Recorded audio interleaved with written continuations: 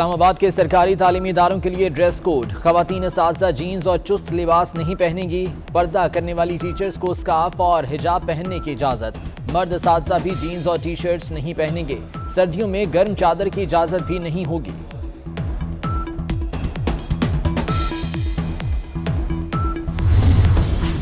महकमे खुराक की नाहली का खमियाजा आवाम भुगतने लगे। गंदम की रिकॉर्ड पैदावार के बावजूद आटा तारीख की बुलंद तरीन सतह पर पहुँच गया।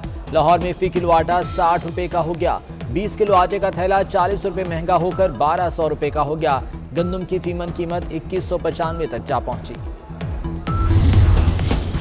पंजाब में एक बार फिर तब्दीली आ गई। कामरान अली अफजल चीफ सेक्रेटरी और डॉक्टर सरदार अली खान आईजी तयनात तीन साल में चार चीफ सेक्रेटरी और छह आईजीज बदले गए। थाना कल्चर तो ना बदला, क्या इस तरह पंजाब बदल जाएगा? पीटीआई हुकूमत की तीन साल गवर्नेंस पर बड़ा सवाल। ब्यूरोक्रेसी में तब्दीली वजी अला का इख्तियार है। कुछ अरसे से हाई प्रोफ़ाइल क्राइम केसेस सामने आए। उस्मान बुजार ने मजीद बेहतर आई जी लगाना चाहा है तो क्या गलत है?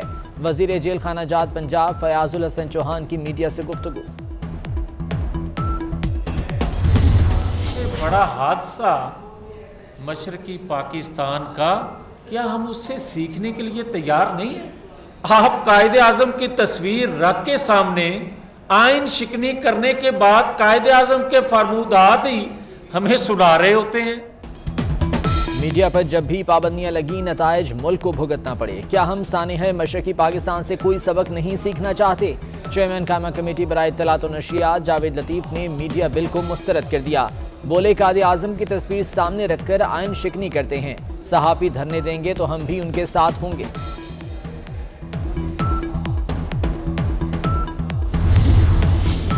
वज़ीर इतलात फवाद चौधरी ने जावेद लतीफ़ को सियासी जोकर करार दे दिया। कहा असलाहत मीडिया में हों मौशी निज़ाम में या इंतबी अमल में, हमारा रास्ता वाज है। अपोजिशन की सियासत बस तारीखें लेने और फैसले टालने तक है।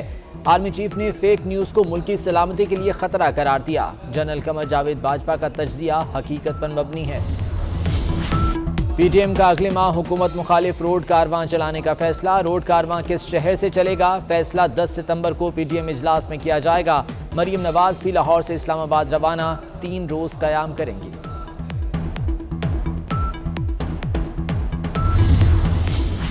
शहबाज शरीफ के बयान पर पीछे से आवाज़ आती है, ये उनका जाती फैसला है। शहबाज शरीफ पार्टी के सदर हैं, उनका फैसला हतमी होना चाहिए।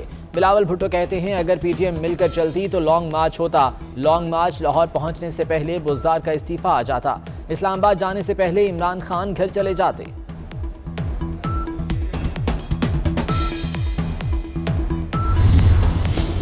पीपल्स पार्टी का जनूबी पंजाब में भरपूर सियासी पावर शो। करोड़ पका में पंडाल सज गया, जियालों की ढोल के थाप पर भंगड़े। बिलावल भुट्टो कारवां के हमला रवा दवा। दुनियापुर पहुँचने पर शानदार इस्तकबाल।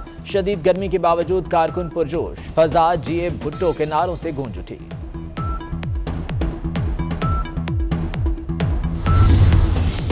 परवेज मुशरफ ने एन आर ओ देकर मुल्क पर बड़ा जुल्म किया। अब सारे इकट्ठे होकर एन आर ओ मांग रहे हैं और कहते हैं कि हुकूमत नहीं चलने देंगे। वज़ीर आज़म का इस्लामाबाद में डिस्ट्रिक्ट कोर्ट्स की इमारत का संग बुनियाद रखने की तकलीफ़ से खिताब। कहा, अदलिया आज़ादी के वो नतज नहीं आए जो आने चाहिए थे।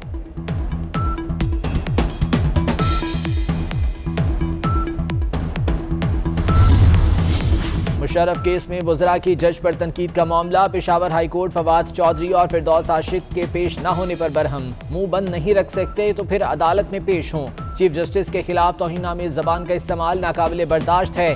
क्यों ना वारंट गिरफ्तारी जारी कर दें? जस्टिस रूहुल अमीन के रिमार्क्स।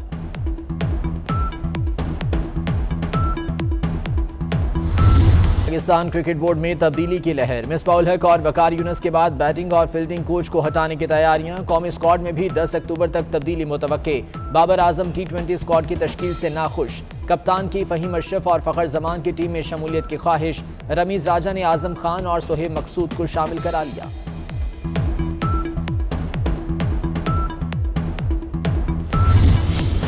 अफ़गानिस्तान में हुकूमत साजी के लिए मुशावरत मुकम्मल, नई हुकूमत के ऐलान की तैयारियाँ। अमरीकी सदर जो बाइडन का, तालिबान हुकूमत जल्द तस्लीम करने से इनकार। तालिबान तर्जुमान जबील्ला मुजाहिद का, गैर मुल्की इमदाद का खैर मकदम। कहते हैं, इमदाद शराय से पाक होनी चाहिए।